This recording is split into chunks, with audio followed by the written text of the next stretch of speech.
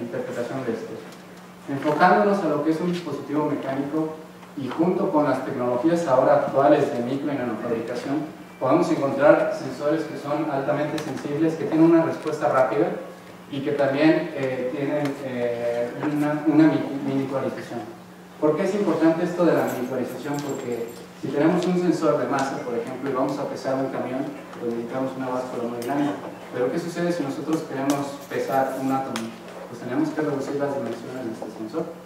Entonces, esto ha traído una gama importante de muchas aplicaciones, entre las cuales podemos ver en control. Se ve un poquito mal, disculpen, es que no pudimos arreglar esta parte. Yo les explico, esta es la parte de control de drones. De drones hay sistemas de, que se pueden hacer a base de, de, dispositivos mecánicos. También el control de sus bolsas de aire de los autos está, utiliza este tipo de sensores. Pero particularmente hay una ciencia que es la de los biosensores, en donde hay bastante auge. Algunas de las explicaciones que podemos distinguir está eh, medición de la coagulación de la sangre, también medición de la mecanotransducción de las células y, eh, y también aplicaciones hacia microfluidica. Dicho esto, el caballo de batalla de los MEMS, cuyo acrónimo es, cuyo acrónimo es Micromechanical, eh, Microelectromechanical Systems, es el cantilever. El cantilever ustedes lo pueden identificar hasta en una piscina, en un, trampolín. Es básicamente una viga que está sujetada por un extremo. Pero ¿cómo podemos utilizar este cantilever en, en, el aspecto mecánico? Pues como un sensor de masa. ¿Cómo puede ser un sensor de masa? Un cantilever se puede, podemos identificar dos fenómenos físicos. Uno, el cambio en su, en, en el cambio, el cambio en su, resonancia, en su frecuencia de resonancia y otro bueno, sigo. Eh, el primer principio es el cambio en su frecuencia de resonancia y el otro principio es un cambio en su deflexión. Es decir, la viga está vibrando o también si ustedes eh, agregan una partícula, por el peso esta se va a deflexionar. Entonces podemos ver dos fenómenos aquí presentes. En particular voy a explicar cómo podemos medir masa con el cambio de frecuencia. Entonces, si quieres, ¿sí? sí. Es que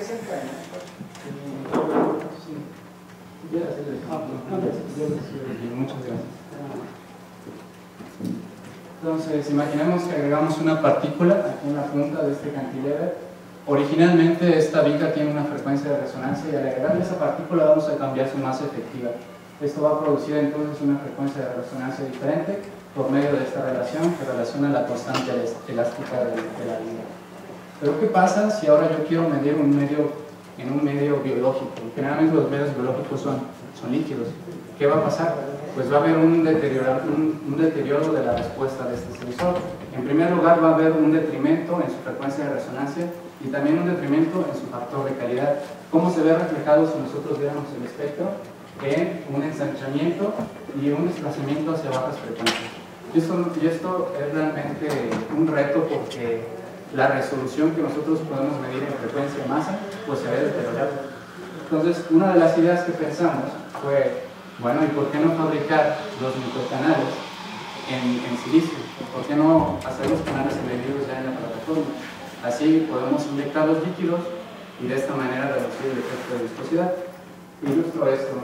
Son canales hechos de silicio, tienes la entrada y la salida, y podemos escoger un dispositivo, un, método de, medición óptico para que no invada la zona en donde queramos, medir.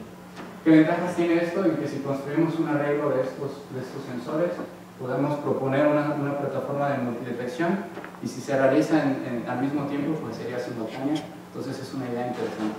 Eso fue lo que yo desarrollé en mi tesis de doctorado. La primera parte, entonces ya tenemos la idea de lo que es el sensor, para qué lo queremos hay que definir las dimensiones, como ustedes empiezan en sus tesis. Bueno, entonces, ¿qué dimensiones va a tener este, este sensor? Tendría 300 micras de, longitud con un área de sección transversal alrededor de 20 por 4 micras. ¿Cuánto es eso en, números para que lo entendamos? el espesor de un cabello es alrededor de, de 15 a 100 micras.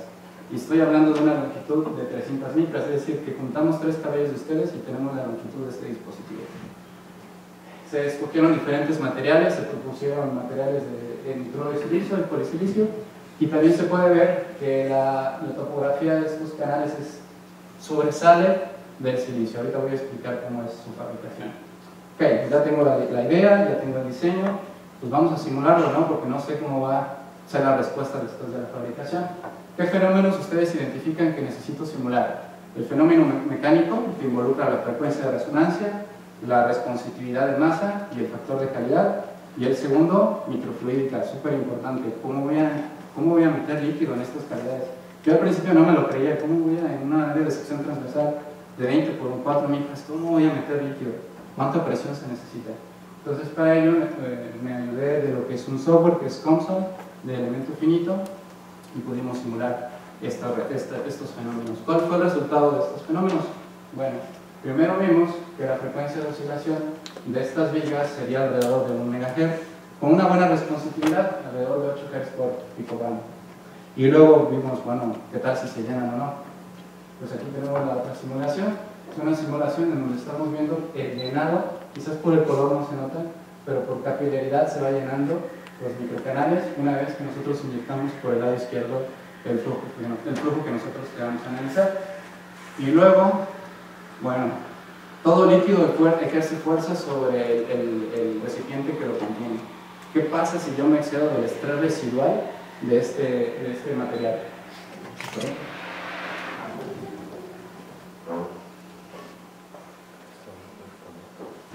Pues entonces tendría una fractura en mi estructura. Entonces para ello también hice una simulación para comparar el estrés von Mises con respecto al estrés de fractura del material, siendo muy por debajo del cual este, yo tendría una fractura.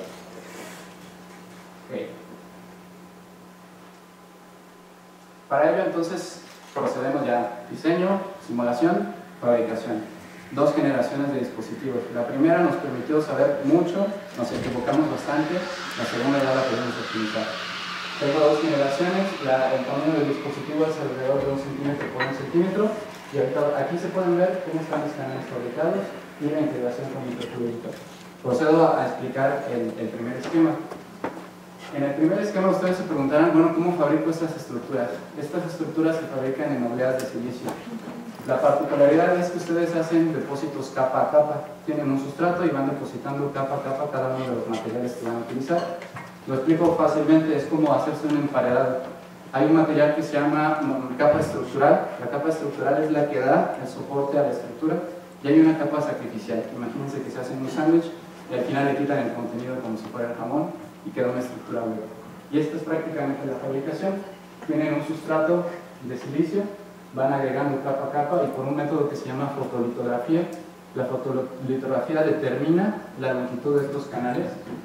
Luego en, eh, depositan una segunda capa estructural, abren las ventanas, atacan, por una, atacan la capa superficial y finalmente tienen una estructura hueca y por debajo se hace un ataque en seco para liberar la estructura del sustrato.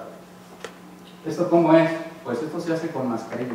Una mascarilla hace cuanto si ustedes quieren un canal de microfluídica, dibujemos un canal, un rectángulo, pues este rectángulo está en la mascarilla como tal y luego se hace pasar una radiación ultravioleta Claro, está nuestro sustrato y tenemos una resina fotosensible. Entonces tenemos el sustrato, una resina fotosensible y posteriormente tenemos la mascarilla. La luz va a pasar por esa mascarilla y hay una regla en fabricación que se llama se ilumina y se elimina. Entonces todo aquello en donde hubo radiación se va a eliminar por un ataque húmedo y nos va a quedar nuestra estructura que nosotros queremos. Así como lo muestra la imagen. ¿Cuál fue el resultado de esta primera generación? Canales bien definidos, estructuras suspendidas, ventanas bien definidas, como lo pueden ver aquí, suspendidos, definidos, pero oh sorpresa, hubo un problemita, no estaban huecos. Esto se debe a la selectividad entre los dos materiales. La selectividad, hay un grabado húmedo que se hace aquí para eliminar con un agente que se llama ácido fluorídrico. Sin embargo, el ácido fluorídrico no nada más estaba llevándose, llevándose la capa sacrificial, sino también la estructural, entonces nos iba a dejar sin estructura. Y eso es algo que, aunque sea elemental, se nos pasó en la parte de diseño y suele pasar. ¿Qué hicimos entonces? Una segunda generación más simple. Simplemente usamos dos máscaras y los procesos todos fueron a nivel de superficie. Como pueden darse cuenta, aquí no ataco por debajo, todo es a nivel de superficie. Tengo mi sustrato, hago la deposición capa a capa de mis materiales, libero, eh, ataco la estructura y al mismo tiempo que ataco la estructura por dentro, también la estoy liberando del sustrato. Ojo, ¿qué materiales utilizamos aquí? Polisilicio y un óxido dopado. El polisilicio tiene muy buena selectividad con respecto al óxido dopado, entonces de esta manera podemos encontrar eh, la combinación adecuada para obtener estructuras huecas. Pero el polisilicio a esas capas de una micra no es transparente, entonces a 5 o a, a determinado tiempo tuvimos que tener estructuras de control en donde utilizábamos una pinza y nos, eh, y nos llevábamos algunas estructuras para comprobar que realmente estuvieran huecas hasta finalmente a los 20 minutos de ataque húmedo tener estas estructuras huecas. Muy bien, ya tenemos un sensor, ya tenemos un sensor fabricado en silicio, pero ¿cómo le integro la microfluídica? ¿Cómo le integro la muestra que voy a medir? Que también el caballo de batalla en, en tecnologías de, silicio para acoplarlo con microfluídica es un, un elastómero que se llama PDMS, el PDMS es, un material ideal para este tipo de aplicaciones, transparente, es biocompatible y es moldeable. En este caso, eh, yo tenía dos problemas. Hay una manera de unir permanentemente un chip de silicio con PDMS, que es un ataque que se hace por óxido de eh, plasma, plasma de oxígeno.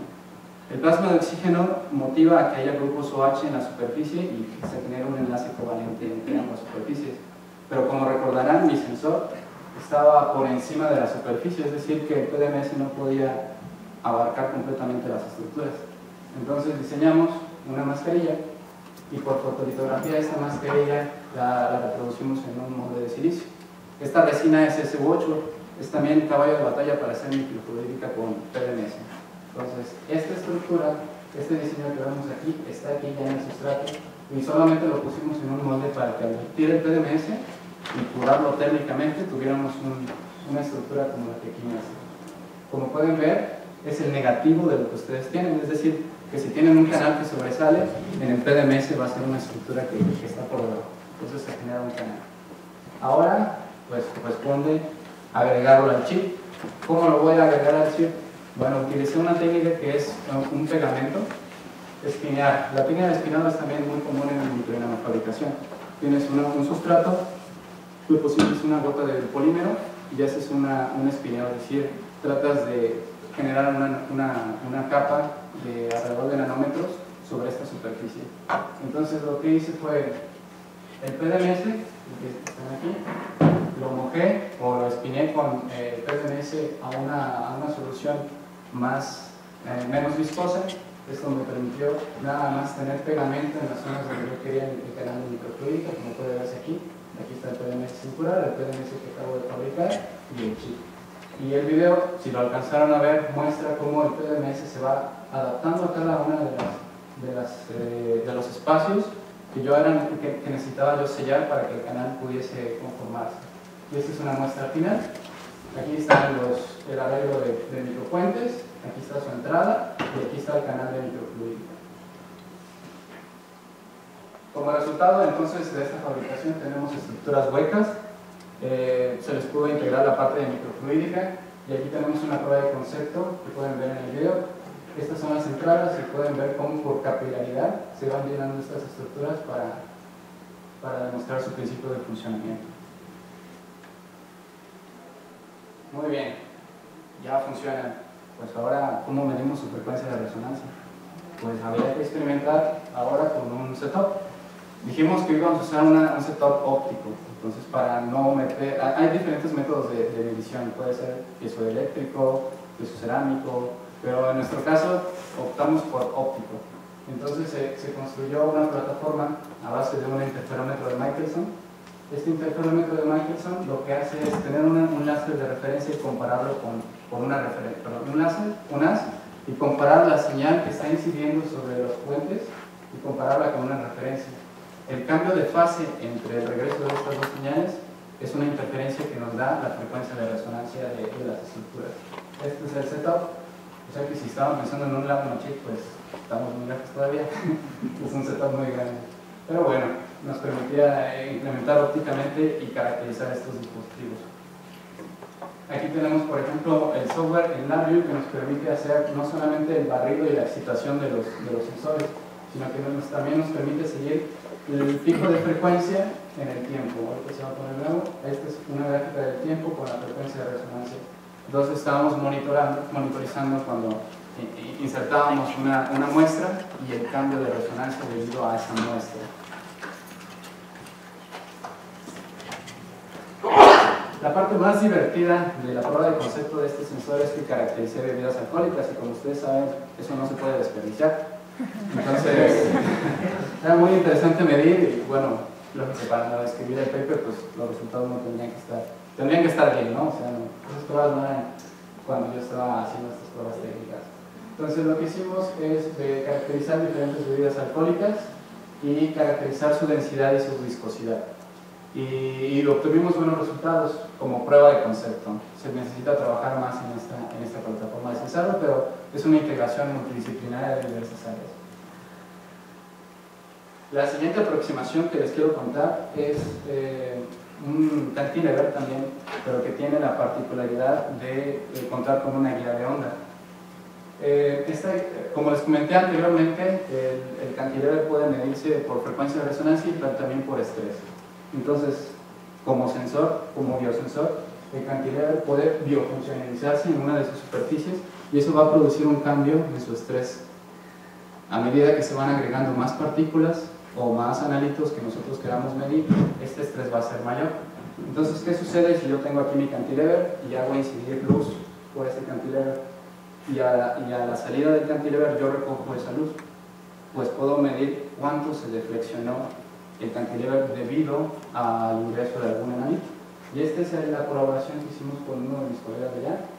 Este es el cantilever, tenemos la entrada de la guía de onda. La guía de onda es simplemente una estructura que permite confinar luz. La luz viaja a través de esta guía de onda y se acopla con el cantilever y nuevamente es recogida por otra guía de onda a la salida. La vista de sección transversal la tenemos aquí, aquí está la copia y una fotografía Zen nos dice cuánto es la, distancia de separación del cantilever y cómo se acopla a la, a la Explicaré muy brevemente el método de fabricación. Eh, consiste en un depósito capa a capa, como lo he mencionado, ese es el caballo de batalla de la, de la microfabricación. Primero se definen las guías de onda del nitruro de silicio, posteriormente pasamos a definir lo que es el cantilever. El cantilever es de óxido de silicio y finalmente se procede a liberar el cantilever del sustrato para que pueda oscilar. Eh, como prueba de concepto de este sensor se midió la hormona de crecimiento y bueno, es un, es un, me, parece una aproximación novedosa porque integra dos tecnologías, tanto es la mecanotransducción como la, el sensor óptico. La última aproximación que les voy a presentar en silicio es, hemos hablado de sensores, tenemos el sensor y buscamos la manera de acoplar microfluídica en ellos. Pero ¿qué sucede si hacemos la ingeniería inversa? Si tengo el sensor y luego, perdón, si tengo la microfluídica y luego fabrico mi sensor. Entonces surgió una idea de construir una nanoestructura dentro de un canal de microfluídica. Este ejemplo lo voy a explicar utilizando el, el, salón como, como referencia. Primero por fotolitografía, ya ustedes ya saben qué es fotolitografía, determinamos un canal de microfluídica con resina de SU8. Este va a ser nuestro canal de microfluídica y las paredes van a ser la resina. ¿sí? Y aquí vamos a crecer pilares de nanopilares de silicio. Lo primero que vamos a hacer es depositar una monocapa de esferas de poliestireno. Esas van a ser sus cabezas. Entonces vamos a depositar una capa por encima de este, de este sustrato. Recordamos nuestro sustrato de silicio. Vamos a depositar esta monocapa como se ve en la imagen. Recuerden que ya está delimitado el canal microfluídico. Posteriormente viene un ataque en seco que se llama RIE, por, eh. Esto va a producir que sus cabezas se reduzcan al tamaño de pilar que deseamos. Es decir, si más o menos 200 nanómetros, 100 nanómetros, algo así. Y qué reducimos las esferas. Después viene un depósito de oro, una película delgada de oro por sobre todos ustedes. Después vamos a quitarle sus cabezas en el procedimiento es remover las esferas. Esto se hace por una técnica que es muy sencilla, es una cinta adhesiva que se pega en el sensor y pa, se vienen todas las esferitas. ¿Qué va a producir esto? Que se queden expuestos lugares de silicio en el lugar donde estaba su cabecita. En este caso vamos a exponer regiones, aquí no se ve muy bien, pero vamos a tener, si viéramos aquí en nuestro microcanal, tendríamos oro y donde estuviesen sus cabezas o donde hubieran estado va a haber silicio. El oro es también un caballo de batalla en micro y nanofabricación porque en este caso se usa como catalizador. Cuando viene un agente químico que usa ah, ácido fluorídrico y, peróxido de hidrógeno, se, produce un fenómeno que hace que el oro se ataque más rápido, el, perdón, el silicio que esté debajo del oro se ataque más rápido. ¿Qué pasaría aquí? Que el oro que está en esta capa, digamos en esta región, se va a atacar más rápido, produciendo que ustedes, sus cuerpos, ahora sí sus cuerpos, se queden intactos, es decir, que nuestro, que nuestro suelo se va, se va a ir sumergiendo, emergiendo los pilares de silicio que en este caso serían sus cuerpos, así como se ve aquí. Entonces esto ya nos permitió en un microcanal tener nanoestructuras que no se crecieron, sino simplemente hicimos que el, que el sustrato se sumergiera. ¿sí? ¿Por qué es importante este dispositivo? Porque una vez que se tiene un molde maestro se pueden crear réplicas en polímero, como en PDMS o en otros, o en otros polímeros biocompatibles. Entonces, tengo mi sensor, agrego PDMS, tengo una réplica, vuelvo a hacer la réplica y hasta la segunda réplica tengo un, modelo semejante a mi, a mi estructura principal.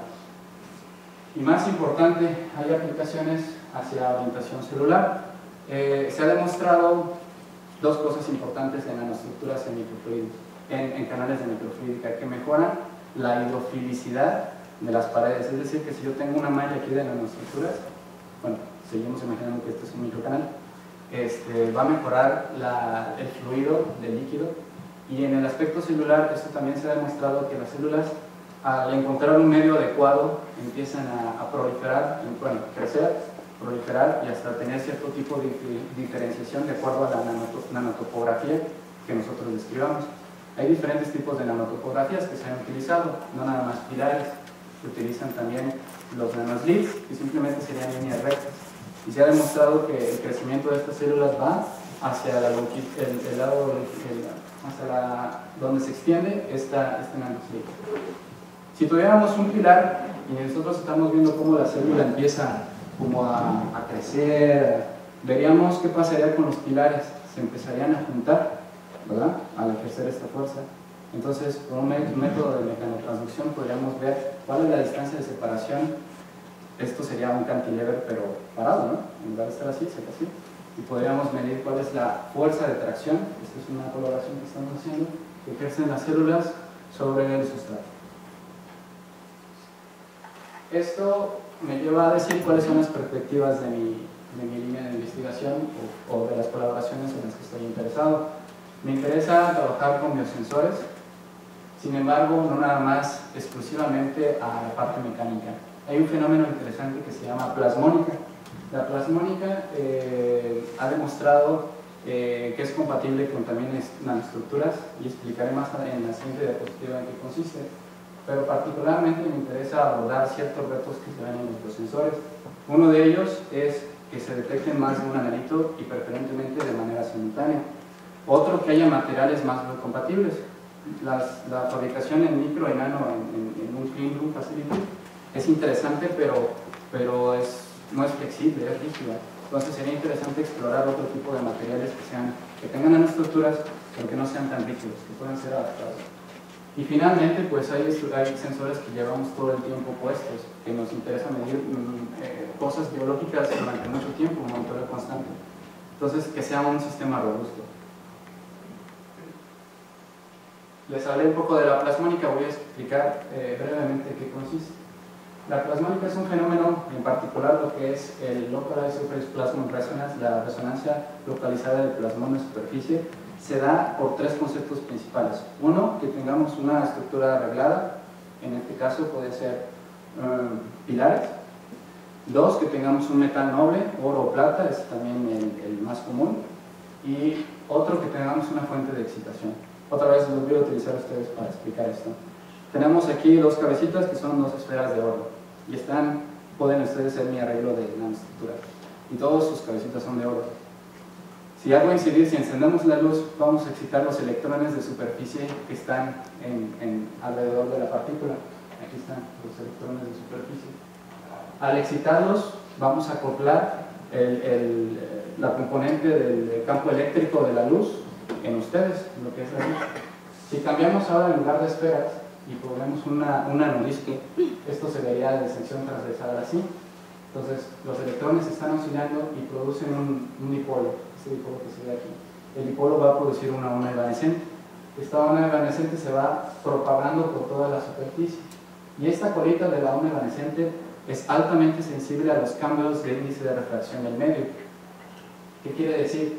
Que si yo funcionalizo esta estructura para detectar cientos analitos en un rango de propagación alrededor de 30 a 50 nanómetros, puedo ver los cambios que estén pasando y eso es muy importante para monitorizar las interacciones biológicas que estén ocurriendo para biosensar.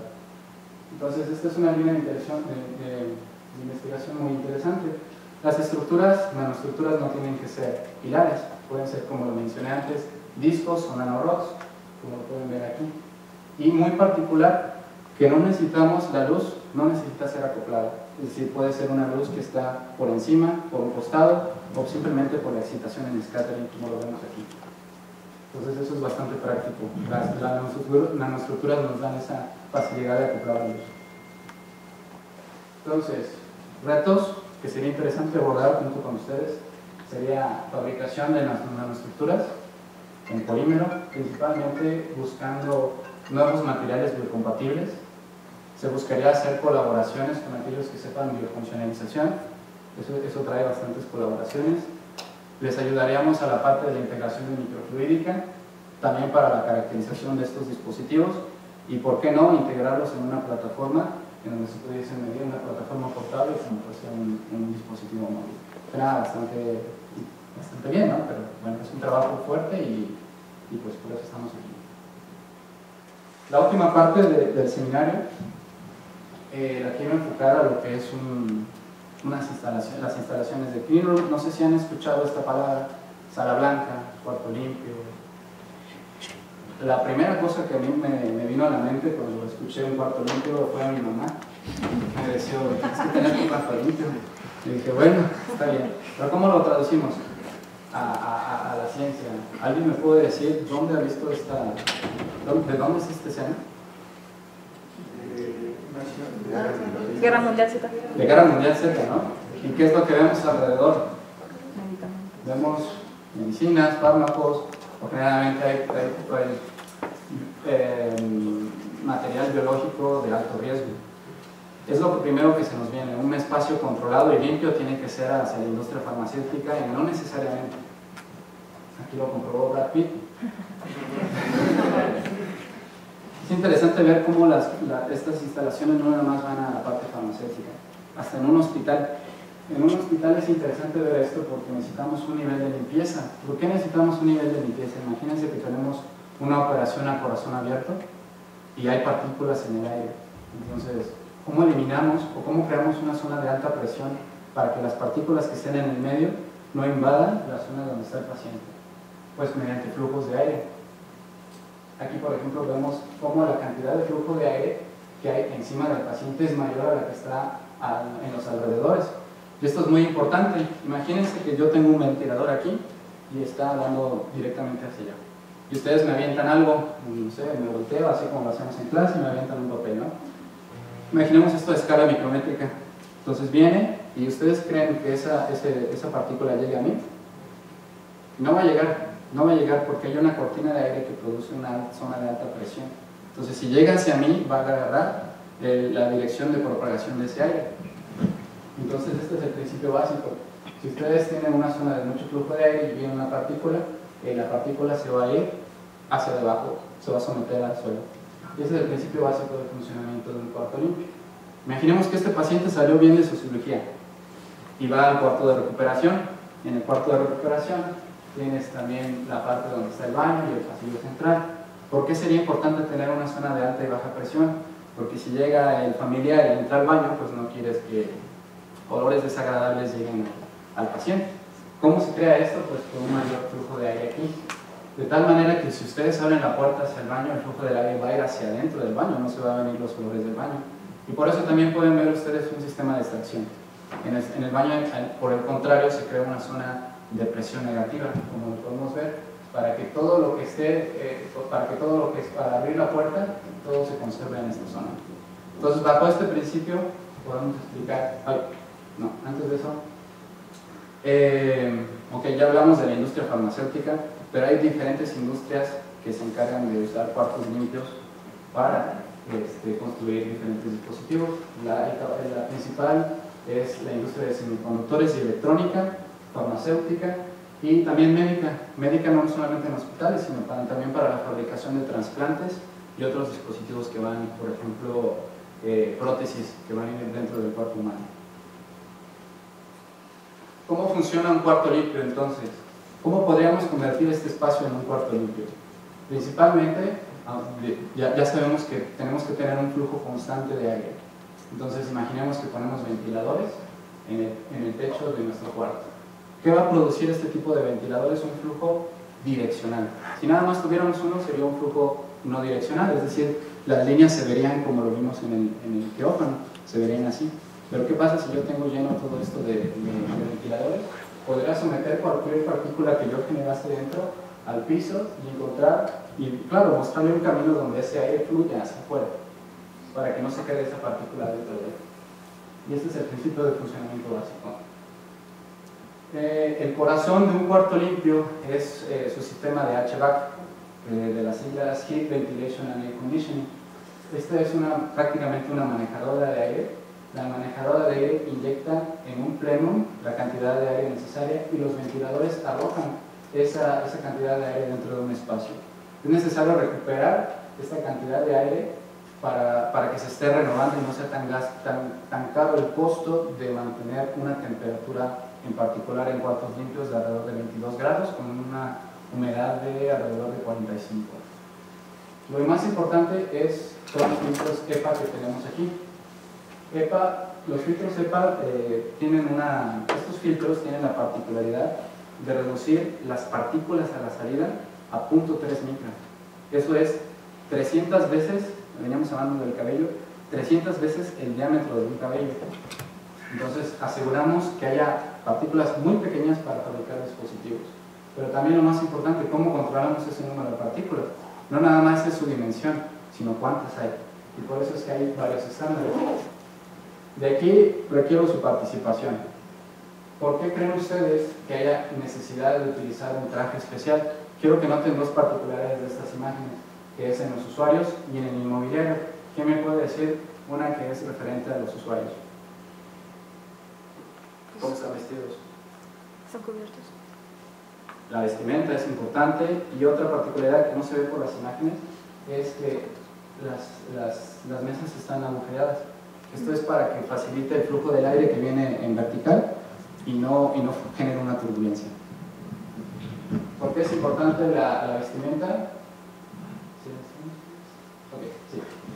Ustedes saben que cuando estornudan o cuando tosen, ¿saben la cantidad de partículas que se generan?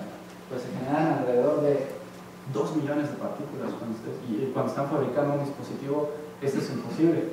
Esta es la gama de, del tamaño de partículas que se desarrollan. Eh, puede ser hasta de una micra hasta de 22 micras, son pequeñísimas. Entonces es crucial tener este tipo de vestimenta en especial.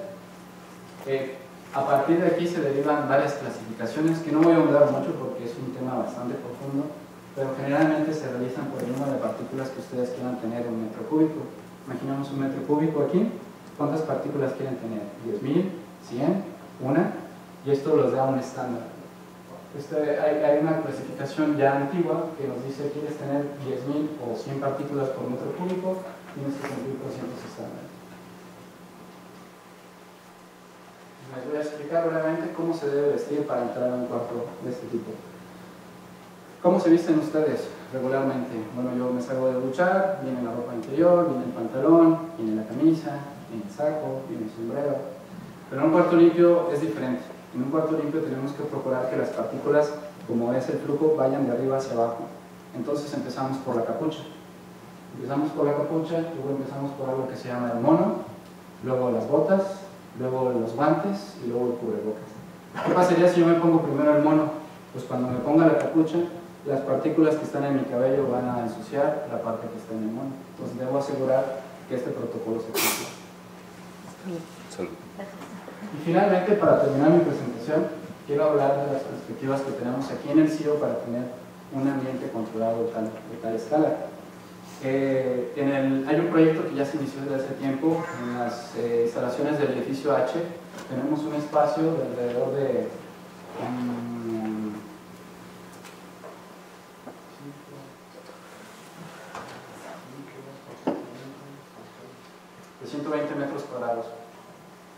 Vamos a identificar diferentes procesos que podemos hacer ahí.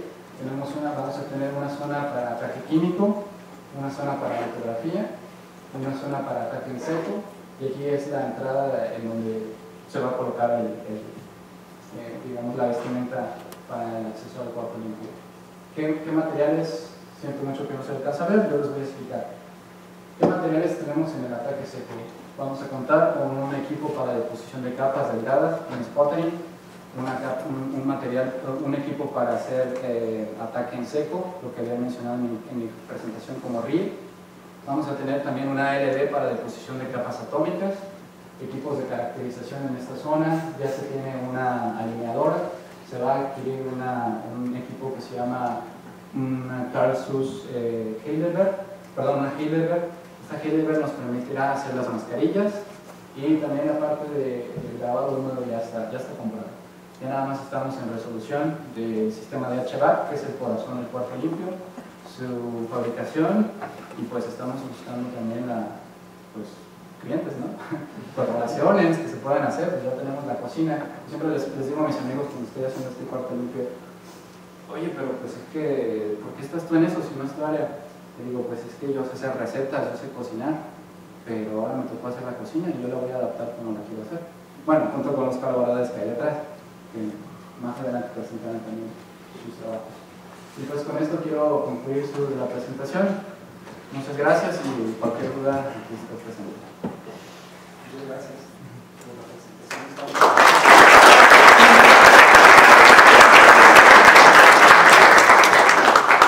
Tenemos muchos, muchos asistentes ahora. No sé, hay preguntas.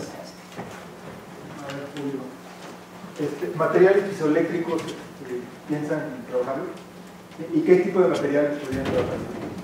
Todo depende de la deposición de las capas. Entre ahora eh, eh, puede usarse cualquier sustrato, vidrio o silicio, pero al depositarse puede ser materiales tales como oro, plata, aluminio, eh, posteriormente puede ser polisilicio. Cerámicos tendríamos que buscar la opción de, de, de pero precisamente estamos ahora en la construcción para hablar de las necesidades y, y ver qué, qué, qué materiales se puedan utilizar. Muchas gracias por la presentación. Eh, se hizo una simulación para la caracterización mecánica de los dispositivos con, con los que usted trabaja, ¿no? Que fue con Comsol, es una, una simulación. Experimentalmente hizo una caracterización mecánica de, de, de, ese coeficiente, no sé qué encontró ahí. Sí. Y la otra pregunta es si con el Michelson eh, la medición fue por reflexión o por transmisión mm. de los maestros. Y si con ella también hizo caracterización, digamos, mecánica de, de los dispositivos. Uh -huh.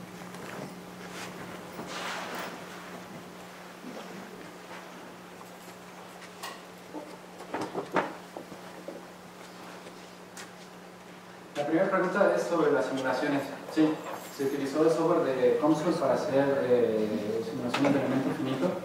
Eso fue antes de la fabricación, es decir, tuvimos la idea, eh, vamos a simularla y simulamos los efectos mecánico y este.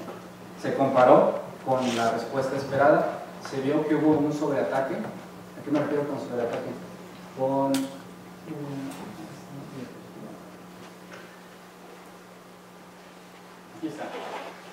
Como puedes notar, aquí hay una zona de diferente color. Esto es un sobreataque. En microfabricación quiere decir que atacamos de más del espesor deseado. Esto cambió las condiciones a las cuales la, la, frecuencia de resonancia iba a responder.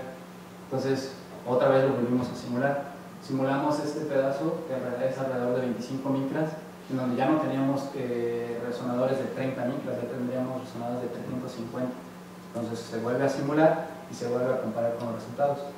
Más que nada es en, en- de- después cómo se valida esto, se mide con el setup. Y ahora respondo a tu segunda pregunta. Aquí está. Se midió por reflexión. Aquí como puedes ver, la- lo que vemos aquí es eh, la reflexión cuando ya estamos enfocando una estructura. Entonces, el caminito óptico que sigue este láser, que viene aquí, perdón, aquí, viene y se refleja el láser, ya hace interferencia con la, con la referencia y ya lo recogemos en el, en el fotodetector. Entonces, sí es por reflexión. Y ahí hizo caracterización mecánica, no sé, por ejemplo, cuando eh, viaja el líquido, el microfluido, se deflecta o se deforman la- las cavidades. No hizo caracterización, digamos, mecánica, cuánto se deflecta, algo así. Eh, ¿Cuánto se deformaba? No, Sí, se, no. se pudo determinar por las simulaciones. Pero la caracterización sí nos ayudó, por ejemplo, esta es la, la- la- la medida en tiempo real. Estas variaciones que vemos en el tiempo es, aquí había, aquí ya inyectamos otra, otra sustancia, aquí no había, entonces vemos los cambios en la frecuencia de resonancia. Una caracteri- caracterización en desplazamiento con este dispositivo se podría, se necesitaría más análisis, pero en la otra configuración del cantilever que está así y la guía donde viaja, esa sí, sí pudimos medir lo que es el desplazamiento. de los- Depende de cada configuración. Aquí nos integraba frecuencia en lugar de desplazamiento como tal de la estructura. Muchas gracias. ¿Alguna otra pregunta? A mí ya no me atención cómo fabricar un propio magnetizador para hacerlo en un número tan pequeño y necesidad se utilizan como. Eh, para hacerlo nos ayudamos de la... ¿Se acuerdan de lo que es las máscaras? Las mascarillas. Entonces, este es un ejemplo. La resolución tan pequeña nos las da la impresión de la máscara. Es decir, que, por ejemplo, el ancho del canal, este es de 100 micras. Entonces, usted piensa en un diseño y dice, ¿cómo lo voy a transferir a un, a un sustrato de silicio? Mediante la mascarilla. La mascarilla le va a ayudar a definir cuáles son los patrones que usted quiere en, en el dispositivo. Y lo que se hace es, eh, de cuenta que yo ya tengo este dispositivo y deposito mi resina aquí. Es una resina fotosensible como si fuera un barniz, como para uñas, un barniz. Y después, ah, pues prácticamente como cuando se van a hacer las, las uñitas, ¿no? Se transfieren ciertos patrones. Imagínense que quiere ponerse una estrella en su uña y tiene el patrón hueco, entonces hace incidir luz y esa luz se proyecta en, la resina. La resina tiene ciertas características para que pueda, eh, al usar acetona, ustedes usan acetona para quitarse ese barniz, eliminar todo el resto y nada más dejar la estructura en forma de estrella. Y así es. Después viene un ataque en seco. Un ataque en seco quiere decir que vamos a eliminar su uña, en este caso el sustrato, que está alrededor, pero no en, en la estructura que usted eh, proyectó. ¿Más o menos? ¿Sí? Eh, Tengo una pregunta. Eh, ¿Cuántos investigadores están involucrados ahorita en, la, en, la, en el montaje del cuarto limpio? ¿Y cuán- ¿Cuándo se va a empezar digamos, a trabajar el cielo y a empezarse a, a hacer investigación ya usando las instalaciones del cuarto limpio? Sí, ahora eh, tenemos tres investigadores. Está el doctor Gerardo Gutiérrez, viene, se incorpora el lunes otro investigador de Cátedra CONACYT y, y su servidor. Y yo creo que los dos vamos a estar haciendo talacha, ¿eh? Ahí, aunque sea doctor, estamos ahí montando el cuarto limpio. Pero yo creo que funcional, yo creo que estaríamos, va a tardar un tiempo, yo creo que a junio tal vez. Y no es por cuestiones de, es por cuestiones más de logística. ¿Alguna pregunta más? Para, para el cuarto limpio me fijé en una de las transparencias, creo que era un quirófano, Sí. un laboratorio, pero hay una regla relativamente nueva, hace como ocho años, que prohíben en la construcción de, de, de quirófanos y de cuartos limpios las, las esquinas, como aquí por ejemplo, porque hay mucho hongo y polvo, entonces en los quirófanos tienen que ser ovalados para la limpieza. Y en el, en el clean room eso van a dejar esquinas así. Muy bien, esa, esa observación es muy buena para la parte de biología, que es, eh, se evita, eh, se cuidan muchos estos espacios más, más que nada por la cuestión ah, aséptica del medio. Pero en micro y nanofabricación vamos a implementar una sala clase 10.000, es decir, vamos a tener 10.000 partículas por metro cúbico. No es tan estricto, es más estricto el control de temperatura y de humedad. Pero si se tiene pensado hacer cosas biológicas, es, es, de, es de ley, como usted lo dice, que se tengan este tipo de, de soplos en, en, en, las, en las esquinas. Pero en nuestro caso no. Si fuese una clase 100, en donde sí tuviésemos tanto eh, actividad biológica como actividad de micro y nanofabricación, sí necesitamos. Yo creo que está en vista de crecimiento de la sala una vez que esté funcional e ir este, teniendo zonas más limpias. Esto se puede hacer de manera modular, y si no es necesario tener este espacio, se puede crear una estructura donde haya filtros y en esa zona nada más tengo mi clase 100. Y ahí sí se cumplen los estándares donde, donde vienen estas recomendaciones. ¿Alguna otra pregunta más? Bueno, vamos a agradecer al doctor Márquez.